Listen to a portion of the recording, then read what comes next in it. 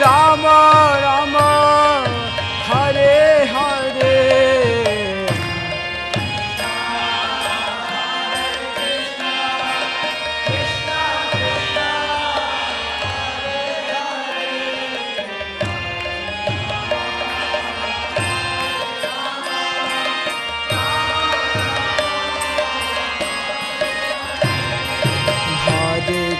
Krishna, Hare Krishna, Krishna Krishna, Hare Hare, Hare Rama, Hare Rama, Rama Rama, Hare Hare.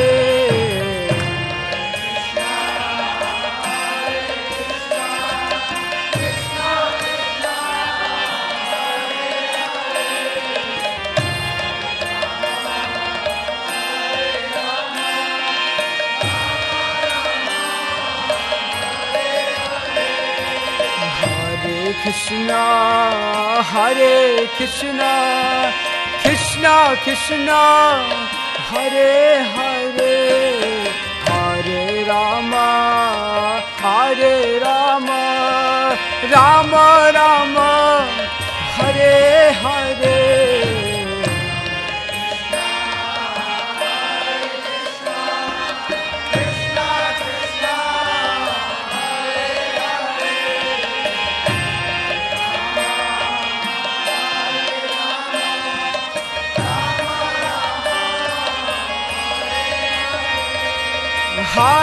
Krishna Hare Krishna Krishna Krishna Hare Hare Hare Ram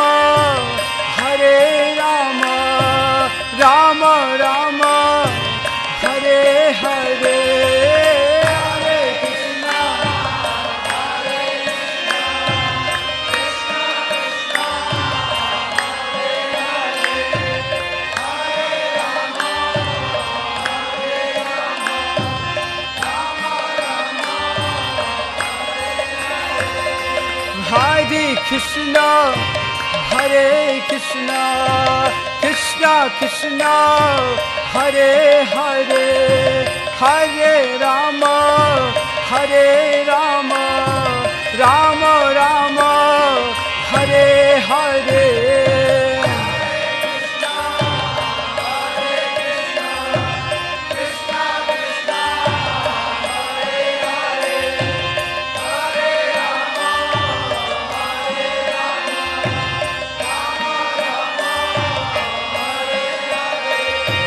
Hare Krishna, Hare Krishna, Krishna Krishna, Hare Hare, Hare Rama, Hare Rama, Rama Rama, Hare Hare.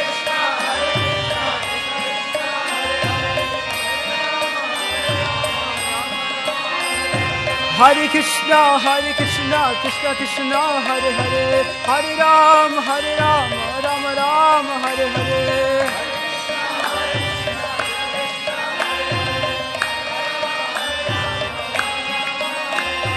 Hare Krishna, Hare Krishna, Krishna Krishna, Hare Hare, Hare Rama, Hare Rama, Rama Rama, Hare Hare.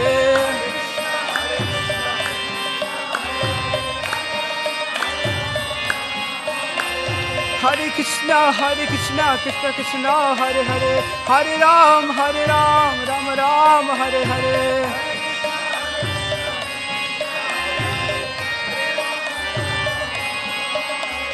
Hare Krishna, Hare Krishna, Krishna Krishna, Hare Hare, Hare Ram, Hare Ram, Ram Ram, Hare Hare.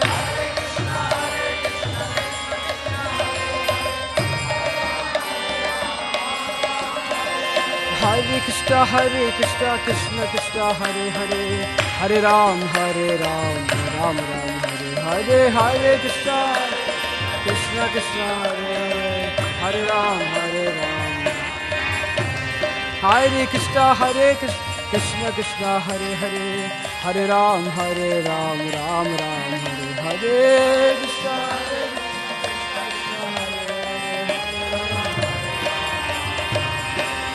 Hare Krishna, Hare Krishna, Krishna Krishna, Hare Hare, Hare Rama, Hare Rama, Rama Rama, Hare Hare.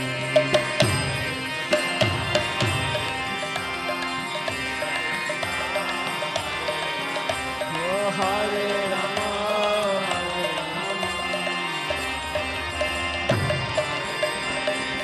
Hare Krishna, Hare Krishna, Krishna Krishna, Hare Hare. Hare Rama, Hare Rama, Rama Rama, Hare Hare.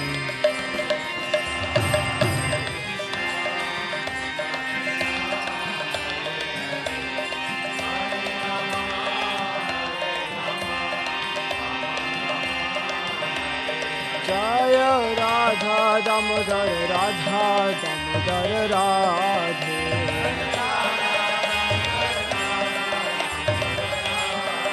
Jaya Prabhupada Jaya Prabhupada Jaya Prabhupada Jaya Prabhupada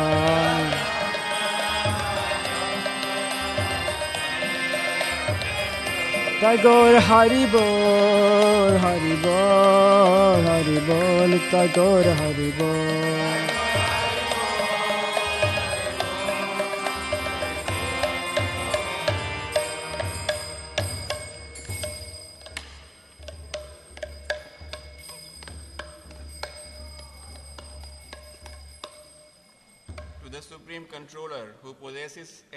form of blissful knowledge, whose glistening earrings swing to and fro, who manifested himself in Gokula, who stole the butter that the gopis kept hanging from the rafters of their storerooms, and who then quickly jumped up and ran in retreat in fear of Mother Yasoda, but was ultimately caught.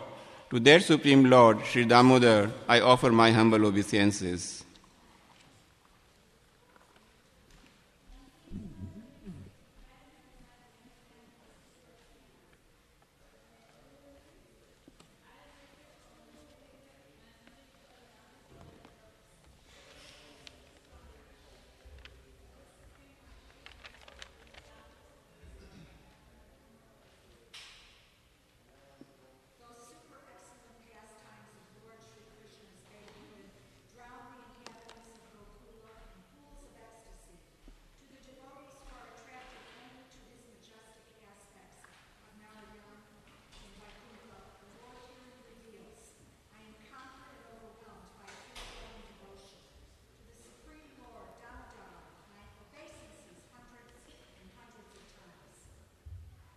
O Lord, although you are able to give all kinds of benedictions, I do not pray to you for liberation, nor eternal life in Vaikuntha, nor any other boon. My only prayer is that your childhood pastimes may constantly appear in my mind. O Lord, I do not even want to know your features, Paramatma. I simply wish that your childhood pastimes may ever be enacted in my heart. O Lord, the cheeks of your blackish lotus face, which is encircled by locks of curling hair, have become reddened like bimba fruit due to Mother Jashoda's kisses.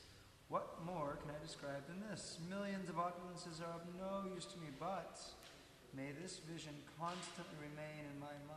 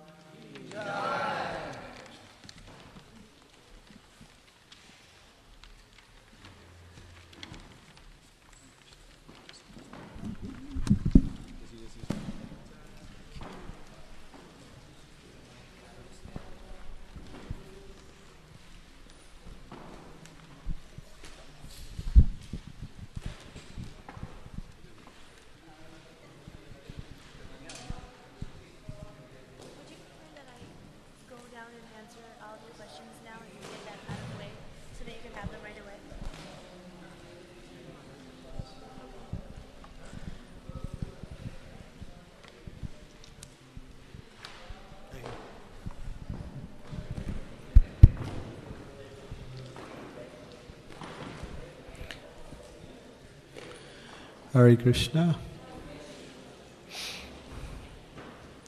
So we're about to begin the third third presentation today, lesson number five, the ISKCON branch.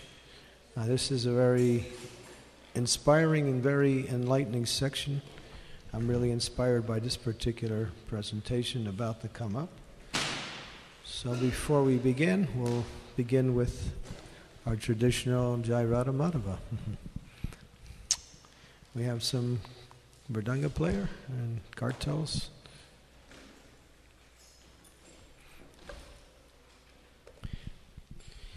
For those of you who are just coming, we've been discussing different aspects of Srila Prabhupada's life, founder Acharya, and then in the previous lesson, planting the seeds that eventually manifested in him coming to the West. so this is the ISKCON branch. This starts where Prabhupada begins his preaching in America. Okay. Where's the Mridanga player? We got one. Okay. Kartals.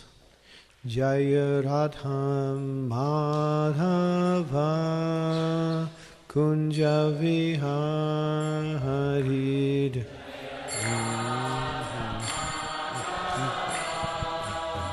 Kunja Jai Radham Madhava Kunja Viharid.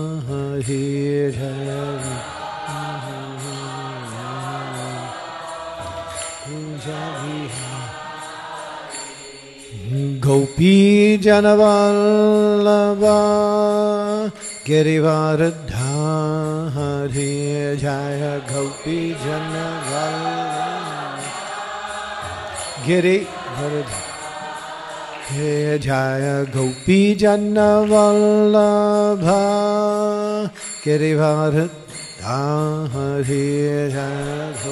Janavallabha Giri Harad Jasodanandana Braja Janahanjanaya Sodanandana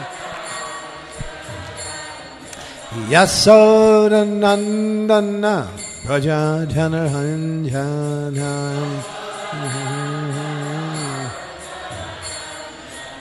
Jamuna Tira Vana Chahari Jamuna Tira Jamuna Tira Vana Chahari Jamuna Jai Radha Madhava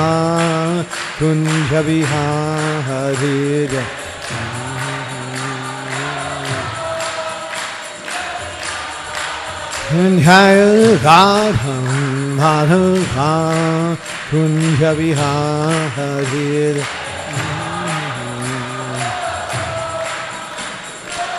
Hey! Jai Gopi Jana Vallabha Girivardhari Jai Gopi Giri Jai Gopi Jana Vallabha Girivardhari Hey! Jasodanandana Praja Janaranja Yasodanandana Praja Janaranja Jamuna Tira Vana Chare Jamuna Tira Vana Chare! Jai Radha Madhava Kunja Vihari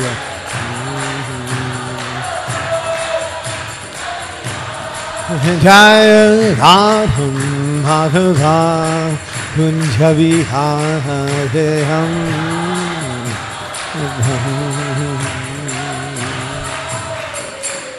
Srila Prabhupada ki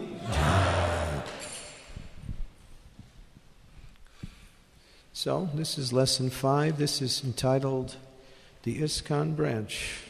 Okay, so what do we see here? What is that a picture of?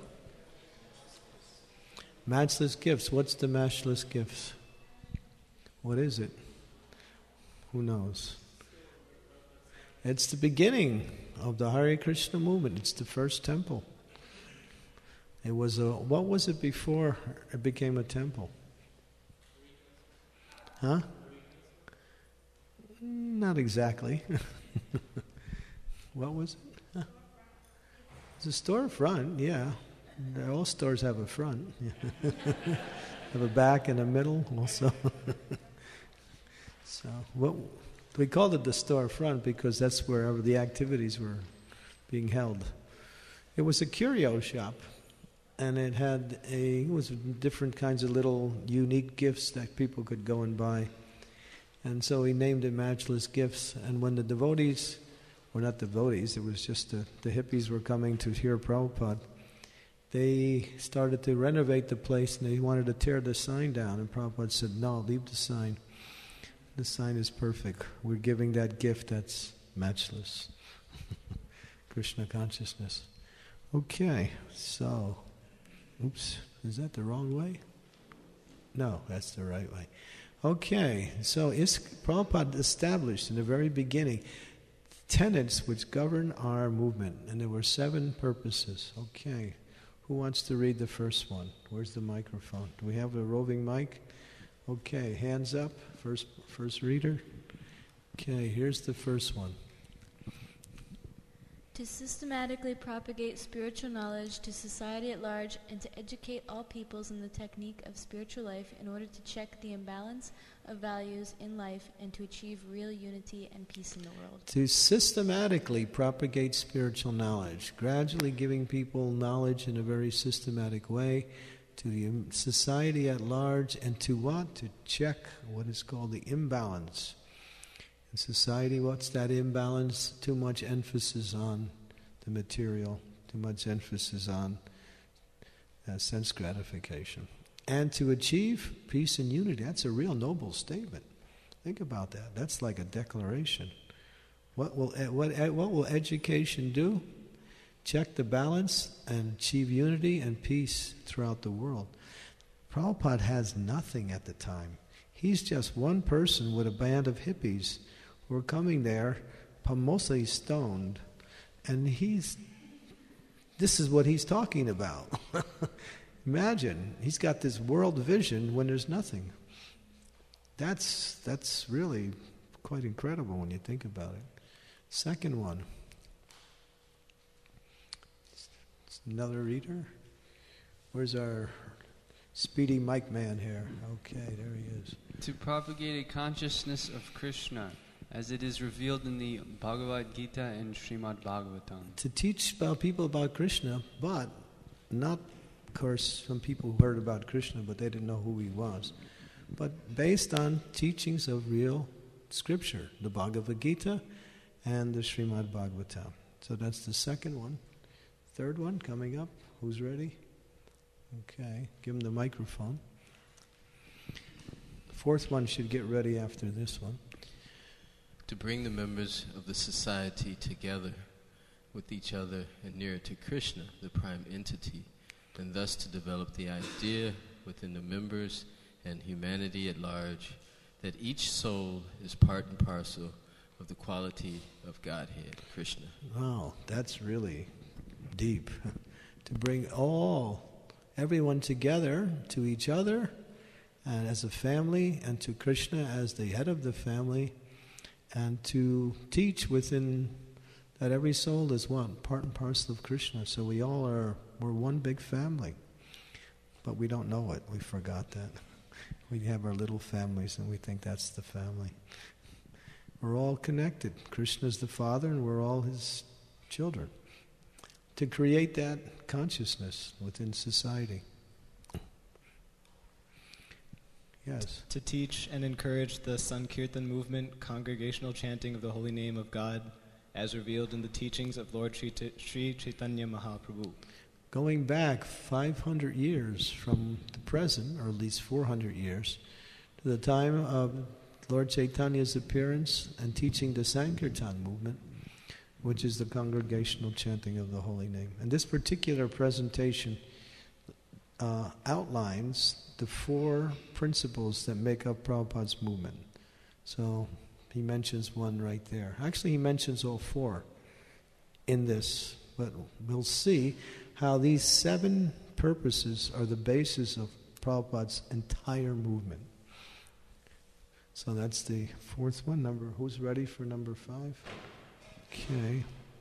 To erect for the members and for society at large a holy place of transcendental pastimes dedicated to the personality of Krishna. Where did okay? Where did Prabhupada do that? In yeah, in Vrindavan, he established the temples in Vrindavan. Where else? Mayapur. Mayapur and Vrindavan to erect for the members a place that we can go. We can go. Mayapur, Prabhupada said one time he was in Alachua, Florida. Here we are in Alachua, Florida, so far away from the center of the world. you know, people are thinking America's the center. He was thinking, so far away from the center of from the world, Sridham Mayapur. so the center of the world for the devotees is Sridham Mayapur. He said, that's our home. We can go there, we can stay there, we can live there, and we can find everything we need in Sridham Mayapur. That's where Lord Chaitanya appeared. And next one. To bring the members closer together for the purpose of teaching a simpler and more natural way of life. Hey, have we done that yet? That's the one that's going to come up. To teach a more simpler way of life. Prabhupada said they got machines for everything for polishing the nails, for brushing the teeth, for waking you up in the morning. There's machines for everything. Do we really need them? People who manufacture them need your money, so that's why. But otherwise, a more simpler lifestyle. Simple living. What's the other word?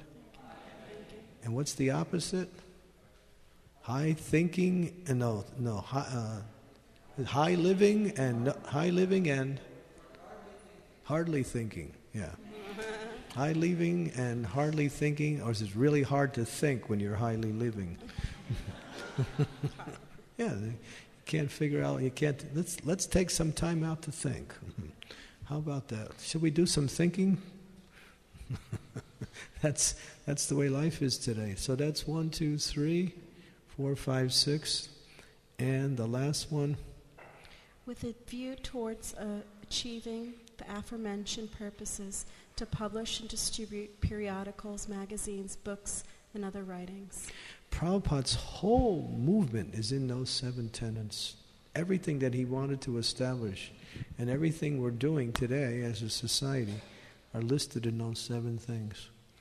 And that was done, look at the date that was done. What was the date? 1966, July 13th. That was less than a year after Prabhupada appeared in America. There was a few hippies. that was all.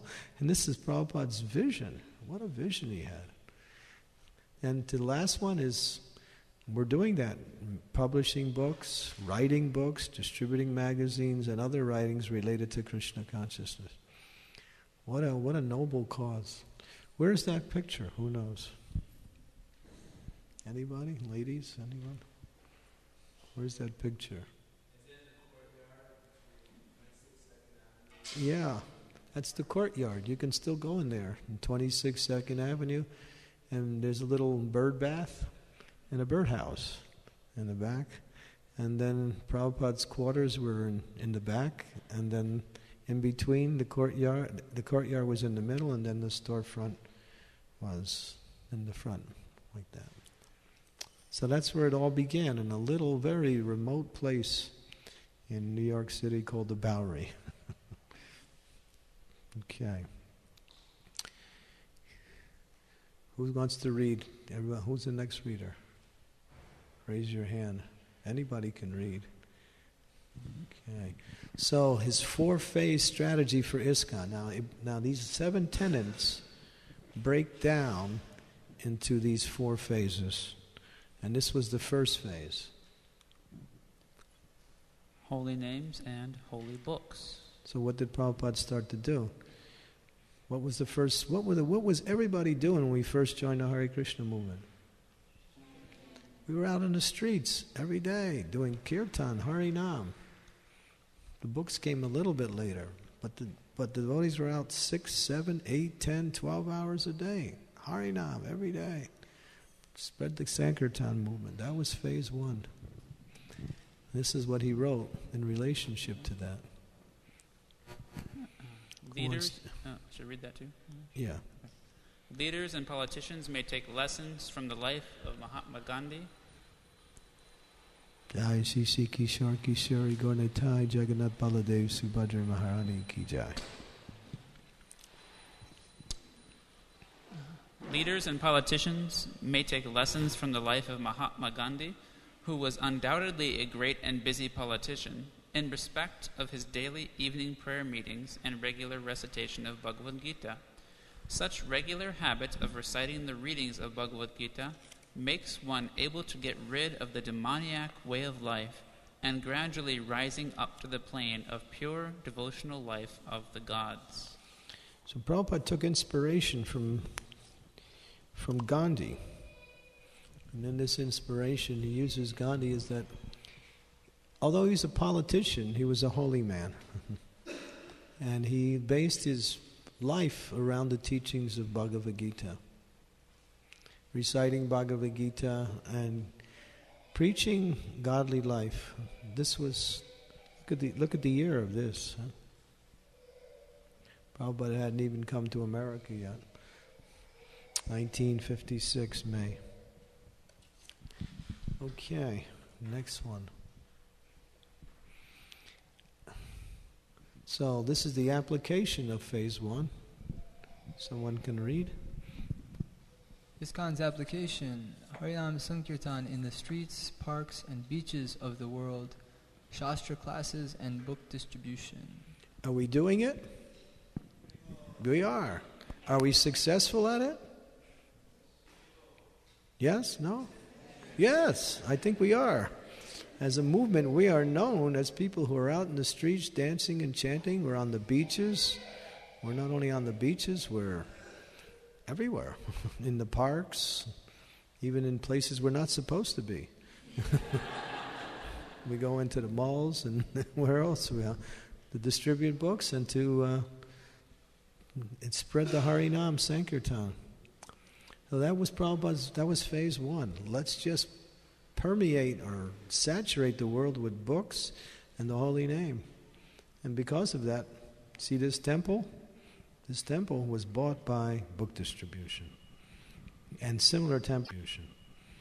And similar temples also. This, these temples were bought not simply by congregational members, because we didn't have any congregation. In those days, there was no congregation. Only the devotees that were in the movement were people in the temples.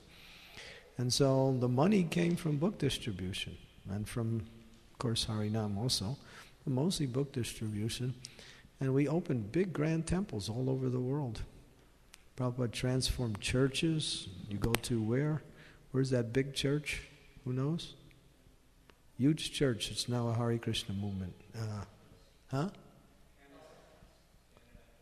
It's in Canada? Yeah. What's what city? Toronto. Toronto, huge church, a magnificent church.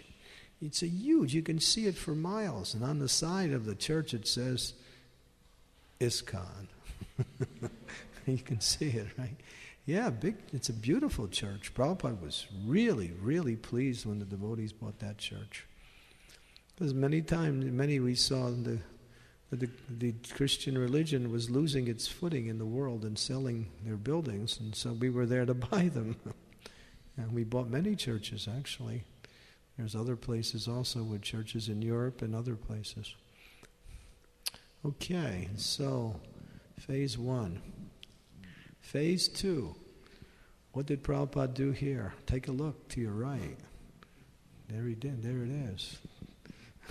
Kishore Kishori. He established what?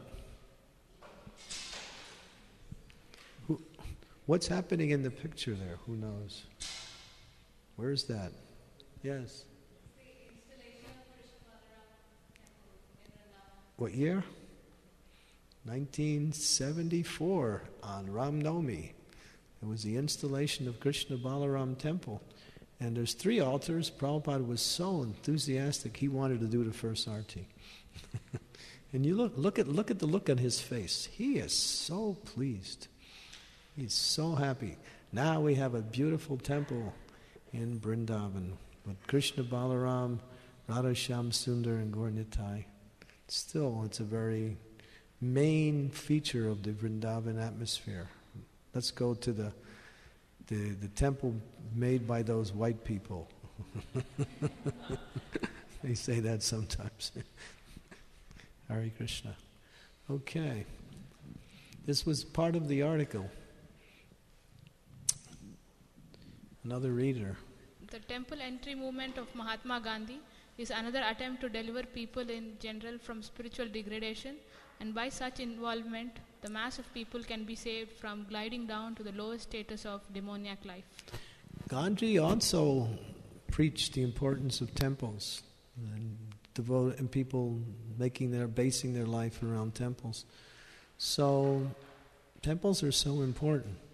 Prabhupada did a miracle. Look at the world. You've seen that book, Darshan, with all the deities in the world. What movement has temples like this in the world? Nobody. Nobody's come close. Prabhupada did it in just a few short years. Mass, amazing temples with full deity worship. Shishi, Radha and Krishna, Gaura Nitai, Jagannath, Sitaram, Lakshman, Hanuman, the Shringadev. Amazing.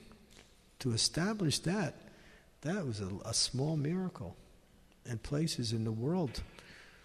I remember when Prabhupada went to Australia. He had just came to do the deity installation there. And the devotees didn't know anything about deities and about how to worship deities, but Prabhupada gave them a responsibility. And Prabhupada was looking and thinking, oh my God, how are these people going to worship the Lord? They don't know anything. And then the last thing he did before he left, he said, My dear Lord, please be tolerant.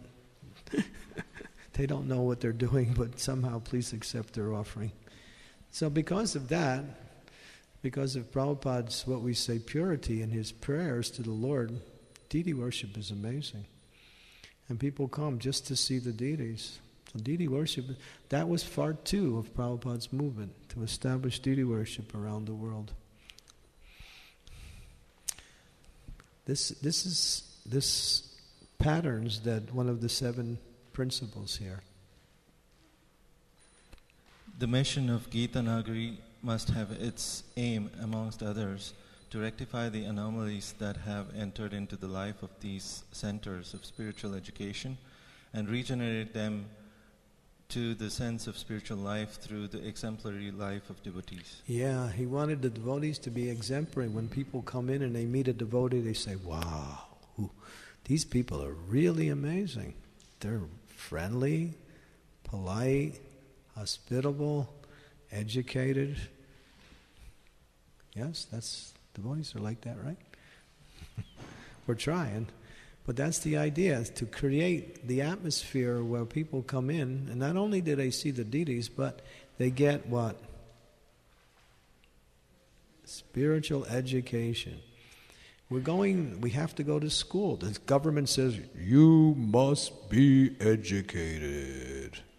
Therefore, learn about geography and science and history and her story. His story and her story. It's, it's, it's history.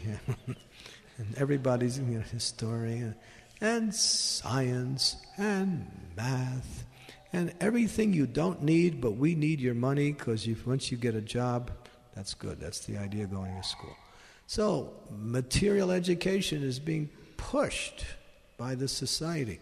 But what about spiritual education? Prabhupada came to the Institute, Massachusetts Institute of Technology, and he says, You have a, a wonderful educational thing, and you're talking about technology. What about the technology of the soul?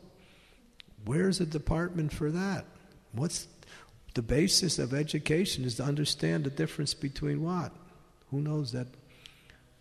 Huh? Matter and spirit, or more specific. The body and the soul. What's the difference between the body and the soul? That's ABC. I am not my body. I am a spirit entity. That's the basis of spiritual education. That has to be explained in various ways. Bhagavad Gita explains it. Krishna talks about it. The acharyas elaborate on Krishna's words. You're not this body. I know I'm not this body, but who am I? You're Krishna's part and parcel. That's spiritual education. That's one and one is two. That's the beginning. How can we understand Krishna's pastimes in Vrindavan if we don't understand who we are? Spiritual education. That's why Prabhupada said these temples are educational institutions. Why? We must educate everyone who comes through the door or give them the opportunity to understand what actually is the purpose of a life and how to achieve that purpose. How to connect with the Supreme Lord through practical devotional service based on a system of spiritual education. So important. So that's why we have so many books. It's not just because we want to make our room look nice with different colors of the different jackets of the book and decorate the room. You know, we sometimes we have our libraries. It looks so nice, but we don't move the books. It's just once in a while we dust it, you know, just to make sure it's Mm, not too much dust gets on it. We got to read the books, and we got to discuss the books. Spiritual education. That's what these temples are about to inspire people to become educated. Okay, so so deity worship goes into education too. And application? ISKCON's application renting storefronts, buying churches castles, building temples, deity paintings, importing deities, crafting deities. Yeah. The last one deity or painting deities and bringing deities from Jaipur and other places and making our own deities ourselves. So, this whole process of deity worship is actually a full time service within ISKCON. And renting storefronts, churches, castles. We have our ca- in uh, in Spain. We have a, a castle. In Italy, we have a castle. In France, we have a castle. So, many places, big, huge buildings. 30, 40 rooms in the building wonderful places for retreats, wonderful places for seminars like that. So that was Prabhupada's vision. Okay. Any questions on phase one and two before we go to phase three? Deity worship in the Harinam Sankirtan. Yes.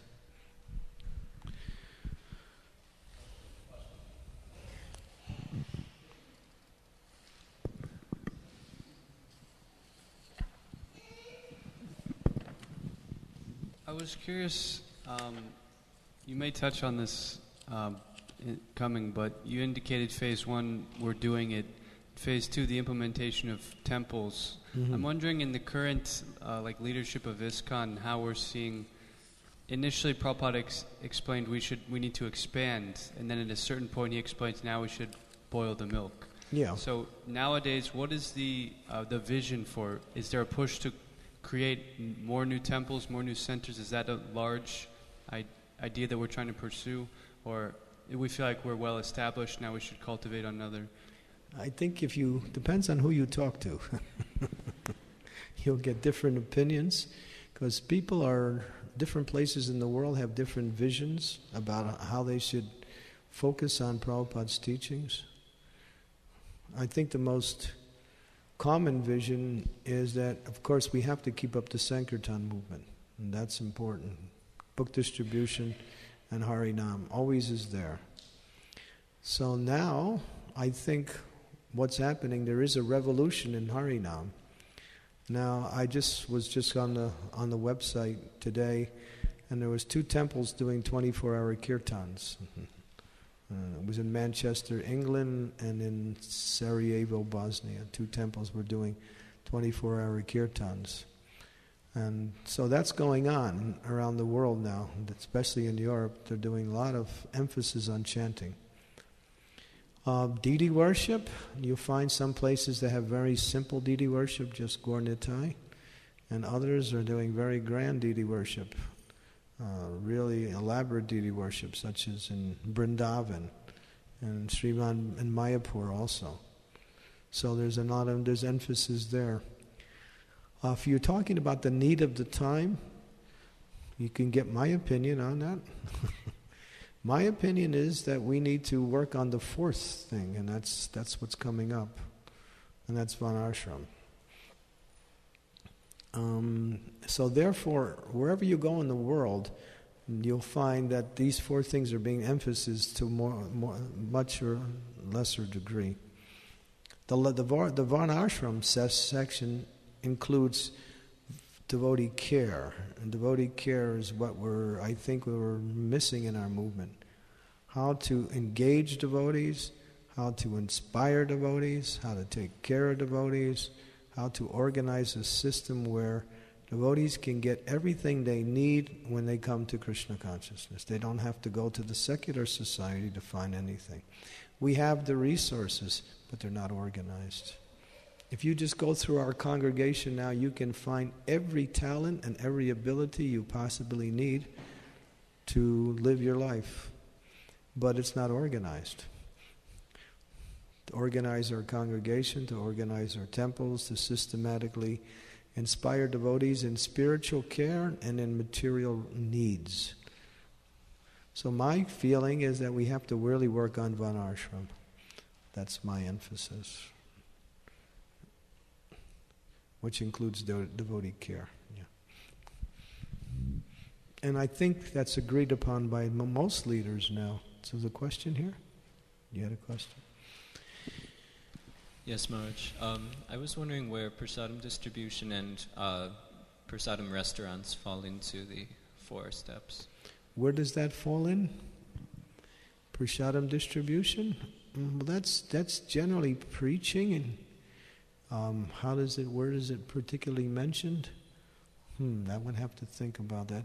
I would think it would be would on the first part of the movement, mm, with outreach. Outreach means sankirtan book distribution, and prasadam distribution also. I think, I think it fits in with the holy name because our process is basically to chant Hare Krishna and eat prasadam. People are attracted, how many people are actually attracted to the philosophy and have made Krishna consciousness their life because of the philosophy? One or two, that's about it, yeah. But most people are attracted by the holy name or prasad. And there's nothing wrong in that kind of attraction. So that's the nature of this age, is that if you want to really preach, you have to emphasize these two things. And the books and the philosophy is the foundation for the practice. So once people become devotees, then then they have to know how to stay devotees, and that's where the books come in. You bring people in, then you educate them. But bringing people in are is the holy name and prasadam. That's the outreach. That's the main outreach. Mm-hmm. Anything else? Any other questions? Yes.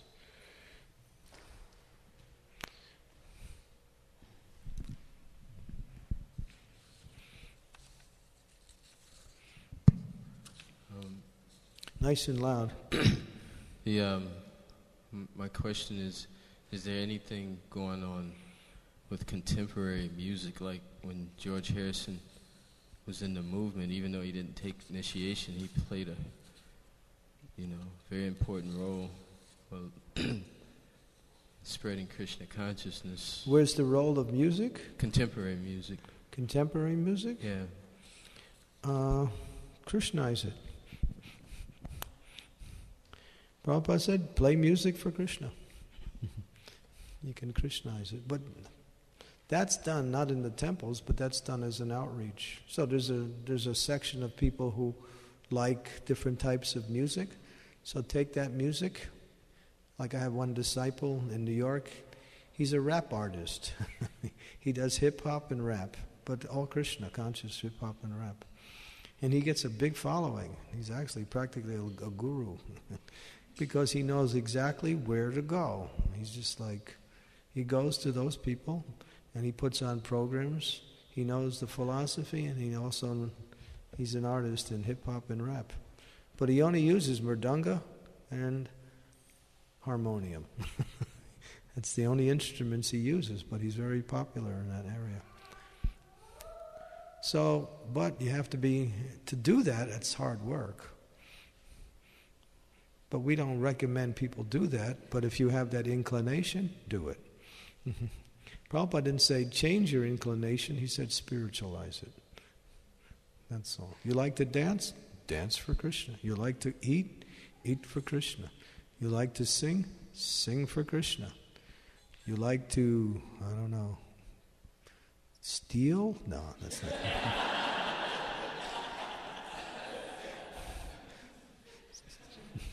I don't know if that'll work. I, I hope we should cut that out of the tape. I was thinking of Tirumangai in South India. That's where I was getting that one from. You know the story how they built the the uh, Ranganath temple. And the story is that mm, they wanted to build a temple for Ranganath, the famous deity. So they went around, and none of the rich people would give money. So they decided, well, if they ain't going to give it, we're going to take it from them. so they hired some thieves, and these thieves had mystic power. And they just plundered all these rich people and then got all the money and built that temple. And it was an Alvar that was doing it, Tirumangai. He's one of the Alvars, which was one of the saints in the, Vaish, in the Sri Vaishnava tradition. Prabhupada mentions that, but I wouldn't follow that to him too much, especially in Kali Yuga, because we could get in trouble. We have to abide by the law. But Prabhupada mentions that, you know, that, but not as a way to better to to kind of reform and just do everything nicely. so, in other words, use your talents for Krishna. That's all. Whatever you can do, do it for Krishna. We're doing it for ourselves or for our families or for society. If you do it for Krishna, then it becomes devotional service, it becomes transcendental. Okay. Phase three. Where's that? Does anybody know where that picture is? What's in the background there? Is that a door? To me, it looks like India. Hmm? It's India, somewhere in India. Because there weren't any Indians in America at that time. we didn't have hardly any. All the Indians came later on, but when Prabhupada went to India. Okay. Phase three initiation, congregation. The third item is to take up the Harijan movement. This movement is, in the real sense, a spiritual initiation movement, and this should be organized in such a manner that people all over the world may take interest in it. The, ma- the Mayajana is a word which is applicable to a person who is ordinarily engaged in the service of materialistic pursuits, whereas the Harijan is the person whose main business is to attain perfection of human, of human life, as Mahatma Gandhi did, by spiritualistic realization. Prabhupada liked what, what Gandhi said about Harijans, but he didn't like Gandhi's, he took issue with Gandhi's understanding of a Harijan. Gandhi's, Gandhi's understanding was you just stamp someone and you call him Harijan. Hari means God and Jan means follower. So Prabhupada says, yes, our movement is about making everyone Harijans, but then there's a process, not just the rubber stamp. So taking Gandhi's idea, and Prabhupada, what we say, applied it to the West, and that was a letter to the Indian deputy, Dr. P.M. Dr. Patel, which was published in a journal in one of the, um, what was it, one of the journals that was being circulated by Dr. Patel at the time.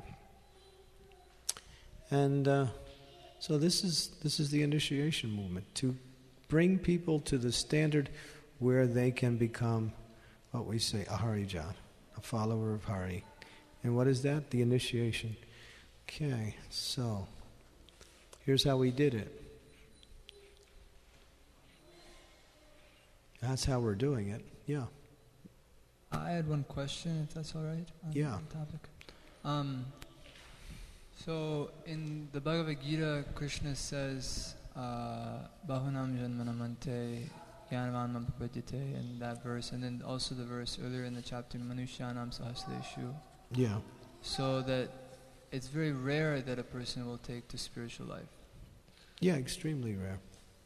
And then we hear from our acharyas that um, we'll hear, you know, th- su- in such a manner that this should be organized in such a manner that people all over the world may take interest in it. Um, and then also the prophecy of Sri Chaitanya Mahaprabhu that the chanting of Hare Krishna will spread to every, Every town, town and and village. village. Yeah. So, how to understand these points together? Well, Lord Chaitanya has made the process of Krishna consciousness easy. And so Prabhupada gave the standard chant Hare Krishna and follow some simple regulations. And then one can be qualified to be a devotee. What are those simple regulations? Four restrictions, which are the basis of all sinful life no meat eating, no fish, no eggs, no coffee, no tea, no illicit sex. That means no sex outside of marriage and only in marriage for children. Uh, no intoxication, and ultimately no gambling. Now, this was also propagated by Bhakti Siddhanta Saraswati, and when his devotees went to London, they met one lord who had some connection with the Vedic culture, and he asked one of Prabhupada's godbrothers, Can you make me a brahmana? And he said, Yes. Well, what do I have to do? You have to chant Hare Krishna and follow these four regs. And he said, Impossible. So when Prabhupada heard that and he came to the West, he said, Yes, I'm giving something that's impossible. but let me try anyway. so it's very difficult, but that's the, that's the bottom line. So if you, if you can follow those four regulative principles and chant 16 rounds from the time you come into Krishna consciousness to the time you leave your body, Prabhupada said, you will go back home, back to Godhead. If you can do that. So that's the test. To give out these four restrictions are the basis of all sin. If you can be follow those four, you'll be free from all sinful reactions. And free from sinful reactions means that whatever you do in spiritual life will gradually will move you forward towards the goal of life, love of God. So yeah. But Lord Chaitanya made it easy. Chant the, if you chant the Hare Krishna Maha, Maha Mantra and you engage in kirtan and eat Krishna Prasadam, hey, you want to follow these four things. you can do it. You got the power. You're getting the mercy. You're getting right directly the Shakti to do it. If you don't chant Hare Krishna, to follow those four regulative principles, or if you just, what we say, occasionally chant Hare Krishna, it's difficult, especially for Westerners. Indians too nowadays, but years ago in India, people, most people would almost be following these things on a regular basis. So these were actually social things. People were, were very pious. Of course, India is changing now, and the effects of Western culture has made people degraded. So to propagate these particular four regulative principles is, is a real challenge in, the, in our present society, present world society. I heard in a lecture from uh, Janmastami Prabhu that in addition to these two points, one like chanting 16 rounds minimum and also following the four regular principles, that one must also dedicate his life to pushing on the movement of Sri Chaitanya Mahaprabhu. Yeah, that's nice. Do that.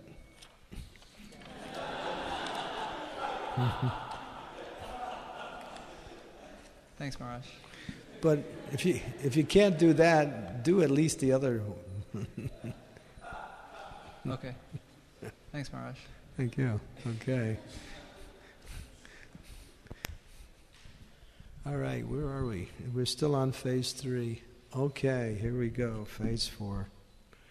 So, three out of four we're doing. This is the one we're not doing the Daivi Ashram.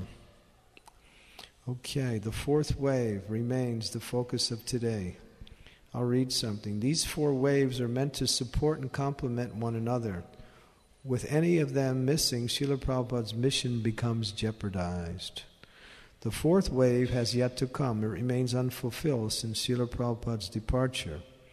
It refers to Srila Prabhupada's reference to a complete to bring a complete overhaul of today's society. So we're not just about, you know, chanting Hare Krishna and being happy. We're out to change the whole world. That's Lord Chaitanya's desire. And as followers of Lord Chaitanya, that's our mission to change the whole world and bring the whole world to a to a platform where they're actually worshiping God as the goal of life. So the Varnashram movement or mission differs from the three previous movements in that it directly involves the Kshatriya and Vaishya elements of society, whereas the first three were mainly centered on Brahminical concerns and activities, which may explain why we have, have been having difficulty implementing them. One reason we have failed to take up Varnashram has been our fixation on city temples. In order to accommodate the Varnashram mission, we need to make a paradigm shift. In order to accomplish this, education, exposure, and training is a must. For this reason, Srila Prabhupada has urged us to establish Varnashram colleges. He wanted an, uh, colleges to educate us in Varnashram. A class society can only exist when all individuals identify themselves as servants of Krishna while accepting roles within Varnashram as a drama in the play. So we are Vaishnavas ultimately, but we have to divide society and practice our service according to our propensities. And that's up to the leaders to organize that where people will be designated according to how best they can serve the mission. Varnashram. That's the basic principle. So, how to do that?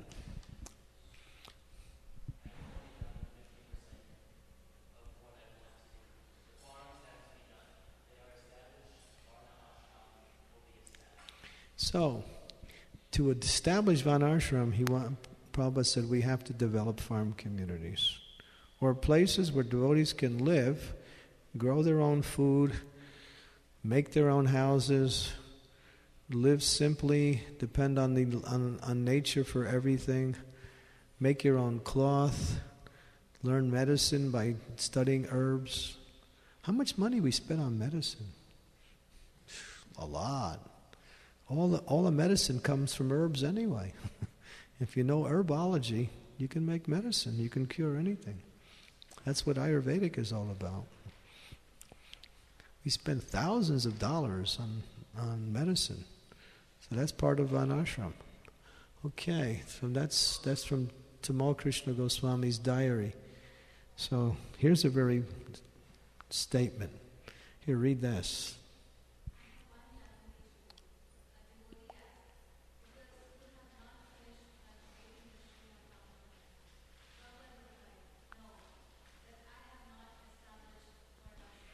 Yeah, that was when Prabhupada was just leaving the planet. He says, I have one lamentation. And the, the response was, I have not established the Varnashram system. In 1974, Prabhupada said, Varnashram is not possible, just propagate the Sankirtan movement. But then he saw that unless we organize not only our society, but the world in general, people will not be able to stay fixed in their spiritual practice. So they have to have the basis in their material activities. So in 1976, 1974, Prabhupada said, we must establish Varnashram. And if you, on March 14th, 1974, a morning walk conversation in Vrindavan, please listen to that lecture. Prabhupada talks about Varnashram in the most amazing way. March 14th, 1974 in Vrindavan. It's a wonderful lecture. He gives all the details for the whole Varnashram system, explaining it in details. And then in 1976, in February, in a room conversation with Hari Sauri and a few other devotees, Prabhupada really pushed it. We must establish this Varnashram. Society will not last the way it is.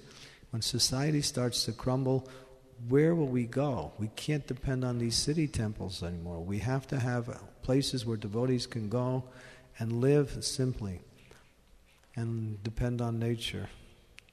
So I know for most of us to live a simple lifestyle is impossible. That's the hardest thing. We like our, you know, we plug in everything and we turn on everything. You know, we have our alarm clock that we can look up at the ceiling and there it is, you know. So many gadgets now. But really, they're a waste of time, they're exploitation of the earth. So Prabhupada said that actually this Varnashram system is the system that was given by Krishna for society. He said another name for city is hell. is like when he came to London in 1969. One reporter, not reporter, some he was on a talk show. The talk show host said to Prabhupada, Swamiji, what is your conception of hell? Prabhupada said, London. it's dark, the sun hardly ever shines, it's only raining.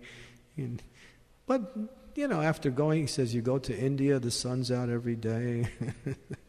says London is, and then and after smashing London for about two minutes, he said, "But we have to give you credit. You established a society in this hell." then the next day, in front line in the papers in the London Tribune, Swamiji calls London hell. First, so city life is unnatural. Smoke, noise, confusion people are, are obnoxious towards, or not obnoxious, oblivious towards everything. You live in a city, you shut down. Your senses actually shut down. And that's why when you come to Krishna consciousness, you can't chant. You can't really sit down and be peaceful because of the lifestyle we live, which is really normal to sit and chant. It's easy. But we've turned off to our, our senses and our mind because we're being bombarded by all this noise and all this confusion, which is really contrary to a lifestyle. So Prabhupada said, We're in the cities. Why? Because people are in the cities, therefore we have to preach. But our life is in the, in the, in the, on the farms, in the communities like that. This is healthy life. It's also an easier way to execute spiritual life. So that was Prabhupada's desire for the world and for, especially for our society, establish these uh, farm communities. ISKCON's application. So we got a lot to go. So this is the. Anyway, we keep the other three going. We're still doing the other three, and they're important. When you ask that question, Acharya Nishta, where, where's the emphasis? The emphasis is really on moving in this direction now. Bhakti Raghava Swami, he's in India, he's trying to establish Varnashram. And um, He's working 24 hours a day. He's more or less focusing on Vanashram, and there are other devotees that are also assisting him in that. He's more the Vanashram acharya in our society. But because we're doing so many other things, it's hard for us to move away in that direction. But Prabhupada said, we need to. When Prabhupada saw the devotees were not getting what they needed in Krishna consciousness, were leaving, he said, now we have to train the devotees. And Vanashram is the basis for training. Situating someone in their ashram, situating someone in their way of livelihood, how to serve. That's Vanashram. Varna means occupation, ashram means place of spiritual cultivation. If you're a brahmachari, but you're supposed to, but you're better off situated in your, in a grihastha ashram, that should be noted. That should be considered. That should be assisted, and vice versa. How to best engage people according to how they can make progress towards the goal of life, Krishna consciousness. So, application barely begun. Okay. Any questions on these four? We can speak so much on Van Ashram. I was just in Europe, and uh, we're trying to establish one aspect of Van Ashram, and that's called Kshatriya training. Um, I've been in contact with some devotees who are martial artists who are willing to teach devotees how to fight. Because Prabhupada mentions that we need devotees who know how to fight because our temples our deities, our properties, can be at any time attacked by the outside, especially as society becomes more and more disorganized due to economic and social chaos. So Prabhupada wanted devotees who are fighters. So there's one devotee in Italy, his name is Murari Chaitanya.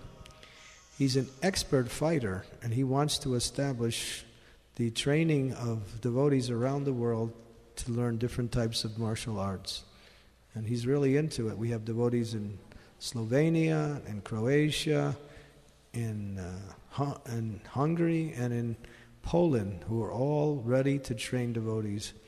In America, I don't know what's going on here because I haven't been in America so long, but we also need devotees who are who can be trained in the in the art of fighting. That's the job of a kshatriya. A kshatriya needs is two things.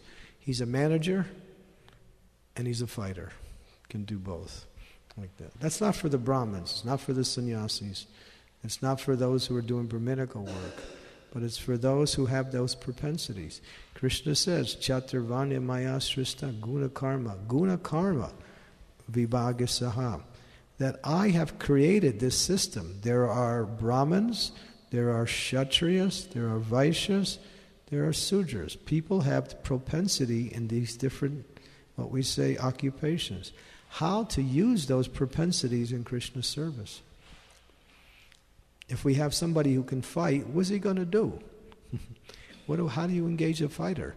Well, he can be here to manage and to protect. You know, our temples are getting attacked a lot. Mm, in India, we got attacked on my in our Calcutta temple by a whole gang of gang of dacoits. They came with sticks on what night was that? That was Gaur this year, and there was a big fight between devotees. It happens all the time. Our temples are being attacked. Maybe not so much in America. Just look what happened to that Sikh temple. So we need devotees who are fighters who can not fighter is not an aggressor. He's a protector. The word kshatriya means shat means harm, triya means to protect. One who can protect what? The women, the children, the cows, the brahmanas, the old people. So that's, that's a service that people can do. That's part of an ashram. How to manage. Manage is a kshatriya job. He knows how to manage. He knows how to engage people in according to how best they can serve like that. If you have a person who is a, a Vaishya, and you give him a managing job, he turns it into a business. right? He'll manage to get, in a, such a way as to bring in money, because that's his propensity. But if you give him a job as a Vaishya, he'll bring in a lot of money that could be used. He'll also establish, you know, banking, trade, growing crops like that. So there are people who are Vaishyas, there are people who are Kshatriyas, and people who have Brahminical tendencies. Prabhupada says that it's the duty of our leaders to see the different devotees and, and take those propensities and, and educate and train and then engage people like that. That's Varnashram system. And when society breaks down, Prabhupada said people will come to our farms and they'll be looking for something to do. And so we engage them in Varna, not ashram. When people come, we engage them in Varna, give them some work to do, and then gradually they can learn about Krishna consciousness. So Varna is very important, right? Especially people don't know what they're supposed to do. They get a job, they make money, they don't like what they're doing. They just made they'd work so they can get money. But why don't you work according to your nature? What's your propensity? What do you like to do? What has Krishna given you? What talents has he given you? Use that to serve. That's Varnashram. And but above that we're Vaishnavas. So the division is there, but ultimately the overall heading is everyone's a Vaishnav. Okay, I got on the bandwagon. Okay, yeah.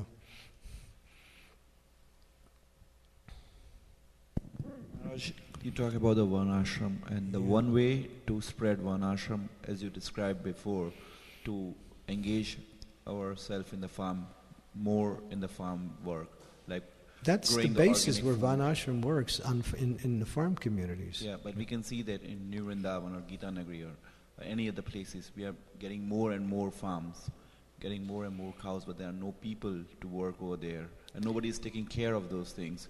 Well, we're, we got the infrastructure, but we maybe we're missing the direction.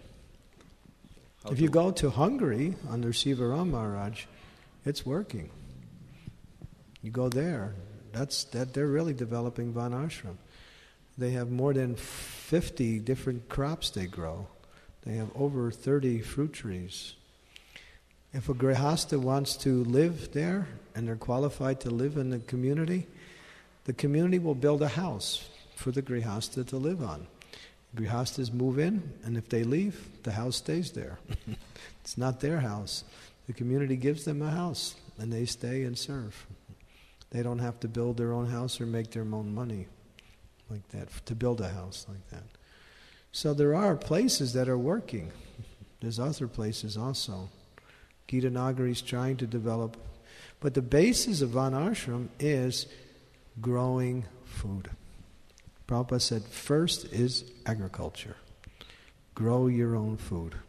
Because food is necessity, both for the animals and for the human beings. And whatever the human beings don't eat, the animals will eat. And that way you take care of the living entities.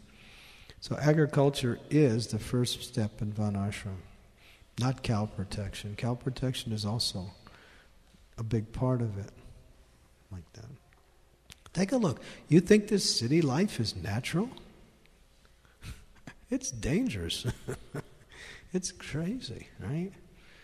It's wild. You can't even walk on the streets nowadays without having some anxiety about will I make it to where I'm going? it's it's hell. That's why we we have to establish a society where a lifestyle that is conducive to spiritual life can develop where people are attracted to spiritual life and to a particular lifestyle. So that's Varnashram. It's a big mission. It's a big mission. And it takes a lot of work to do it. And it takes at least four or five years to, to put it in place once, once you begin working on it. But that's the way to go. Because Prabhupada actually said these cities won't last. They'll just become overridden with crime and, and chaos and as society starts to fall apart. So they said, well, therefore we have to, we go to our farms. Just like milk, we have so many people that won't drink milk because it's they're vegans. What is vegan? What's a vegan? They don't want to take milk from cows that are going to be slaughtered. Okay, so we have our own cows. We can drink milk from our own cows. We can sympathize and empathize with that philosophy. But we have an alternative to that. It's not like you stop drinking milk, you protect your own cows and get milk from your cows, and you get the best quality milk. And you also get the bull tills the field, you have the tractor, crops, agriculture. Everything is there for, for a lifestyle like that. And the brahmacharis, they can go. They can go to the cities and preach. The sannyasis will travel and preach. Grihastas maintain the farms. And it's a good environment to start your own schools, bring your children up. Part of an ashram is educating children. You send your children to your schools, what do they come back with? Hey man, what did I learn in school today? Yeah, I punched that guy in the nose, man. Yeah. Yeah, that was that was, you know, education 101. so, what do they learn in school? How to be violent, you know, how to, you know, just do all kinds of nonsense. And then they come home and they say, when you say, where did you get that from? School. So, another part of an ashram is educating children. You know, my god sister, no, no, actually not my god sister. She's a disciple of, uh, yeah, she's a disciple of um, Gopal Krishna Maharaj. And she wrote a book, Homeschooling Your Children. You ever seen that book?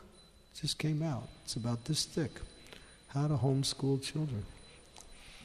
Ah, CC Kishore Kishore. And when you homeschool children, what happens? The parents get educated too.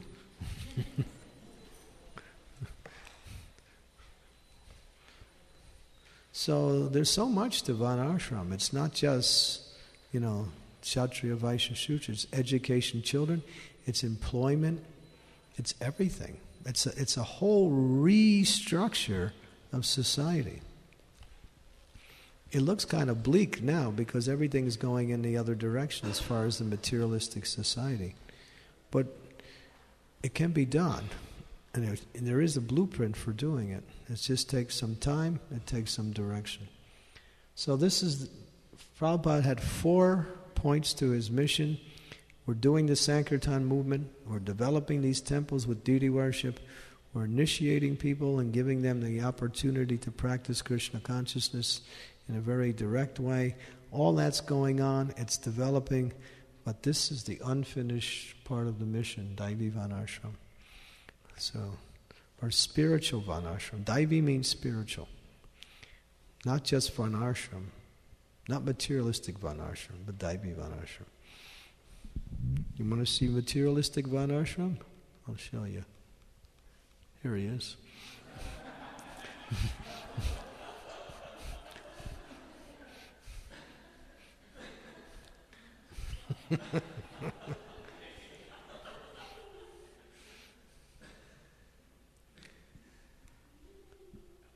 Vitiated caste system, where if you're born in a Brahmin family, you're a Brahmin. But that's not the philosophy. You're born. So this is Vanashram. These are. This is one lesson that I'm not going. He's 1970, 66. The Prabhupada said, "Forget Varnashram. Chant Hare Krishna is the panacea." And then that was in the early part of the movement. 1974, we must establish Varnashram. Humanity is in chaos. And then 1977, Varnashram should be established to become a Vaishnava. It's not so easy to become a Vaishnava. If Vaishnava to be, if, if Vaishnava to become Vaishnava is so easy, why so many fall down, fall down? It's not easy. So Prabhupada wanted to establish Varnashram in order to, to engage our devotees. And this is that famous conversation with Hari Sauri in 1977. Prabhupada wanted it. So I'm going through lesson seven, finding our mission in the mission. So, yeah, so Varnashram is is organizing society according to the teachings of Bhagavad Gita. Any questions? And we can go on and discuss this all night because it's a very important part. So keep the city temples, but get a farm. And then start developing it according to the principles of Varnashram. Yes, question.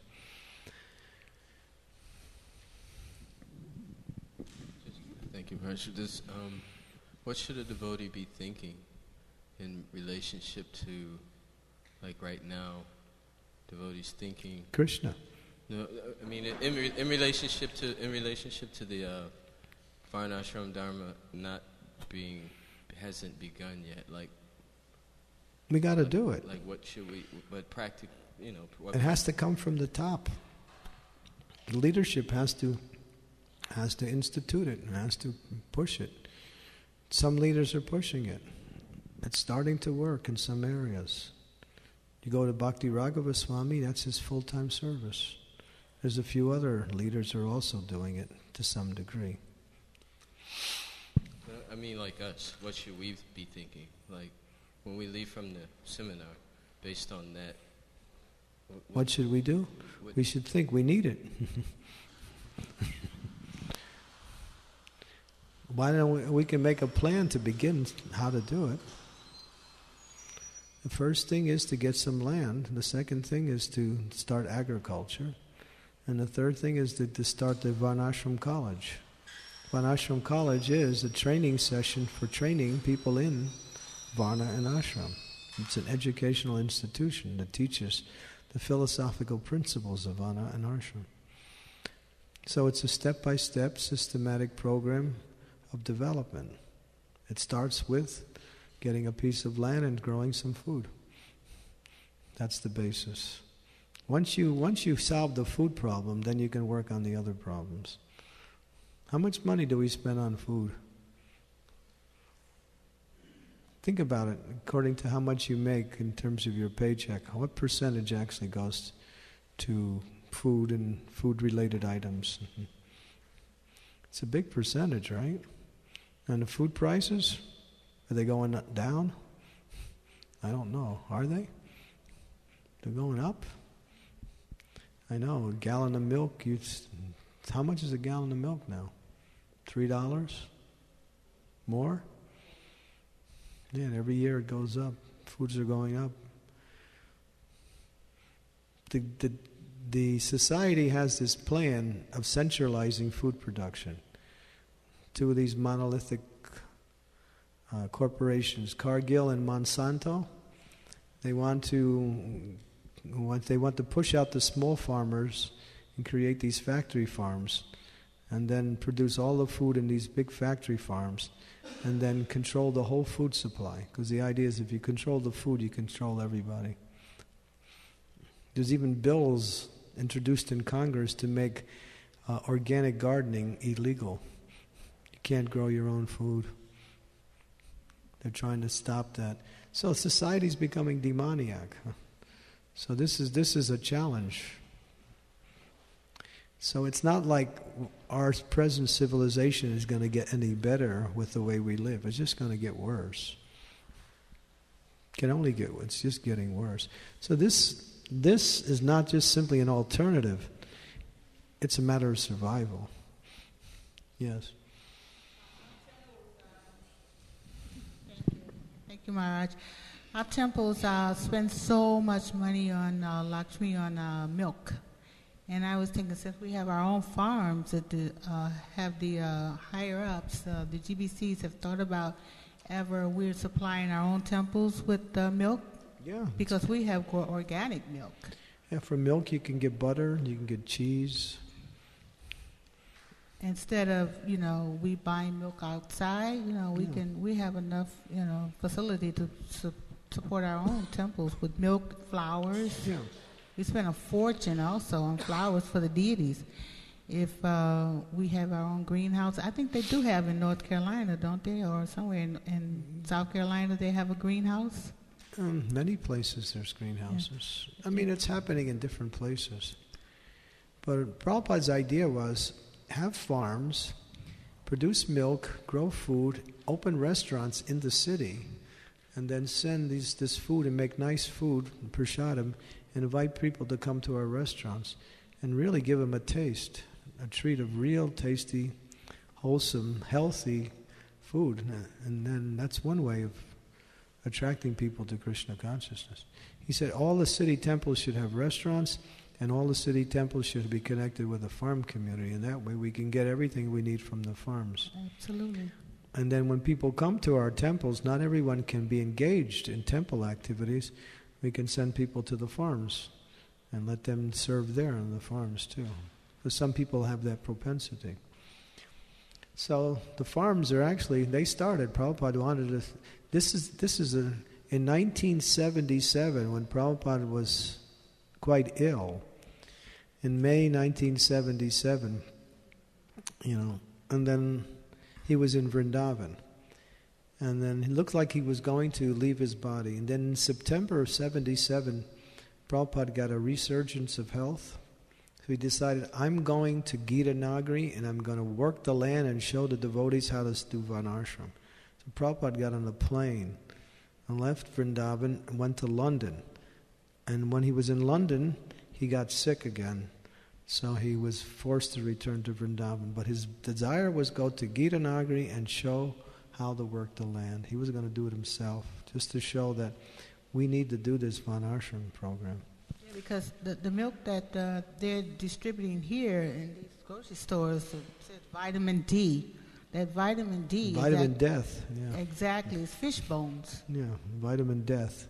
Ex- exactly. Become healthy and then die. vitamin D, yeah. It's actually fish bones they're putting in the Yeah, milk. It's not. If you take milk bought in the store and you take our milk and you you put them both in the refrigerator and you leave them there, the store bought milk will last at least two three weeks, and our milk will go bad in two or three days. That's right. What does that mean? It's the everyday. It's just chemicals and preservatives, you know. Our food, the food supply that you get on the market is quite unhealthy. So, and Prabhupada said, when you grow your own food, the food you get from your own farms is 100 times nutritious and more tasty than the food you buy in the stores. Because they have all these factory farms and so. So, when we talk about Krishna consciousness, we can't just all, only talk about the spiritual aspect. We have to take care of the material aspect also. How to live a life that's conducive to spiritual life. Many times devotees can't practice spiritual life because their material life is not organized properly. And that's what Prabhupada was saying there. We're losing devotees. Why? Because we're not engaging people and giving them their necessities of life. So that's that's the unfinished mission of the of the ISKCON movement. So we have to work on that. Yes. Hare Krishna Maharaj. I was wondering, um, a m- large majority of us have never had any experience living in like a farming situation. Yeah, it's difficult. How can we develop faith that we'd actually be much happier in that type of situation? How can you develop faith that you'll be happier? Well, you know, there are certain people who can't do that, or just to do that may take them a lifetime of change. So, all right, stay in the cities and preach. But Prabhupada wanted at least the bulk of our society to live on farms and to show that as an ideal lifestyle. When society does collapse, then people will come to our farms and we can engage them. So you may be, all right, stay in the cities and preach. But what's the purpose of being in the cities? It's not to live in these cities. These places are hell. it's hell. Living means simple living. We're here, why? We're here for preaching. That's the only reason we're in the cities, is to preach, is to invite people to our temples and show them Krishna consciousness so they can learn how to become devotees. But as far as living, this is the future of our, our society. It's the future of the world, to live in a more simple environment, more natural environment. We're working in Croatia. We just got a piece of land there, and we're establishing a little community there. So, yeah. What about suburbs?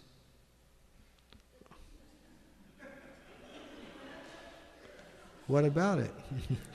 Is that also hell? Huh? Is that, I mean, I could say from my experience, but it's coming from you, Maharaj, I think it would be. The suburbs don't have the benefits of the city, nor do the benefits of the farms. it's a hybrid, that's all it is. It's an oxymoron.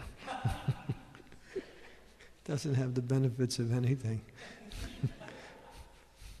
it's only a getaway from the cities, that's all it is. You're, you're in your suburbs and you get into your car to go to the store, right? Which is one block away.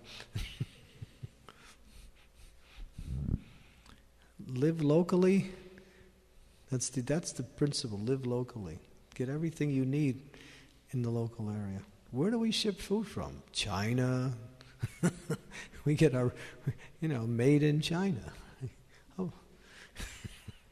We get n- not so much food, but we get products from China. We get food from California, from Florida, Mexico.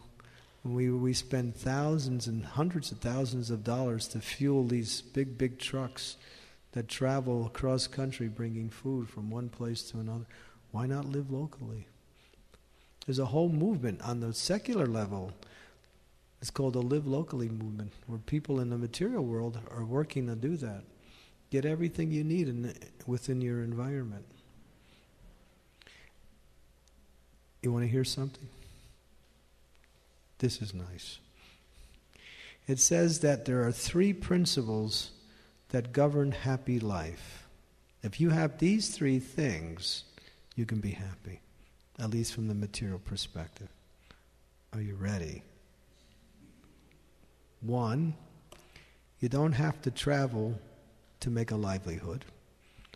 Two, you can eat you can eat food cooked at your own home. And three, you don't have any debts. So how many of you have all these three? you can don't have to travel for a livelihood, you only eat home cooked food, and you don't have any debts. You're happy. but most society, everybody has debts. They go 100 miles. I got to travel two hours to work this way, two hours to work back, right? How many times you eat home cooked food? Once a week. in eating in the restaurants, right? Buying food when you're out to work, right? It's unhealthy. It's, this is a material conception. It says if people have these three things, they're pretty much happy in material life. Don't have to travel for work, don't have, can eat home cooked food, and don't have any debts. Right? How many of you have no debts? Pretty good. Maybe because you don't have any money. No. no, I'm just joking. If you don't have any debts, that's great, right? Right? I just talking to one person earlier today. I said, "Why don't you just move into the temple?" He said, "I got a lot of debts to pay off. I got to work." So, debts, this debt, that debt. Yes. Question? Janaki Nath? No? Okay, so this is Varnashram. Anything else? So tomorrow we'll also be doing three more sessions. Um, three sessions are to love is to cooperate. That's in the morning from 10:30 to 12. The afternoon session is fictitional Prabhupada, and the last session, which will be the Sunday feast section, is your Srila Prabhupada. So these are the last three sessions. This whole section has 10 sessions. We're only doing six sessions. So, but this one's important the four missions and how our society is organized. So we know at least what Prabhupada expected from us and how these things are going on. Temples are opening every day, not every year. Every year there's a new temple opening somewhere in the world. The Sankirtan movement's going on, at least to some degree, in many parts of the world. We're initiating devotees, making them Vaishnavas. People are coming up to the standard. But our lifestyle is not in order. We're living in a way that is not conducive to material well being and spiritual practice. So that last one, Varnashram, is the one is the need of the time. Deity worship, temples, establishing deities around the world. People can go, you can go anywhere in the world and find a Hare Krishna temple with nice deities and get prasadam. That's a great achievement. So, okay. Anything else before we end? Thank you very much. Srila Prabhupada ki jai. Gaur Premanandi Hari Hari Bol.